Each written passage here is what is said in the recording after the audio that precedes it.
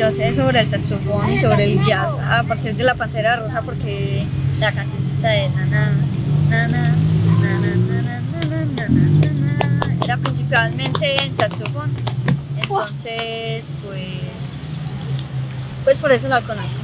Yo me reía mucho viendo la Pantera Rosa porque había escenas bastante graciosas en las que la pantera le pasan cosas, o sea, como humor negro. Lo que más me gusta del saxofón es cómo suena, cómo, o sea, la movilidad, porque yo pensaba que eso era re difícil, que eso uno tenía que tocar siendo un experto y no, la verdad es súper fácil, es como la flauta, uno, uno unos huequitos, nada más que lo que cambia son como unas zapatillas, así como, es como se llaman, entonces uno las hunde y uno va soplando y es bastante fácil.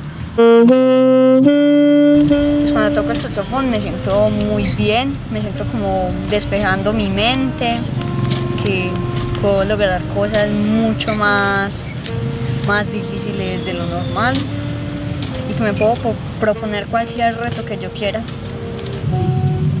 Además de tocar saxo me gusta dibujar, hacer, eh, hacer origami, jugar videojuegos, jugar con mis juguetes y jugar con mis gatos.